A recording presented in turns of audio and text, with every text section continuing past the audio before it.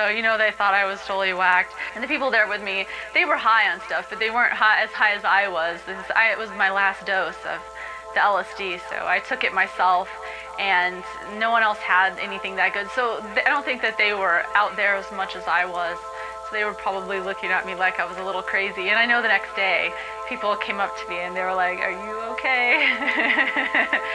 so, but LSD helped me fix my jaw when nothing else could. So, yay, LSD.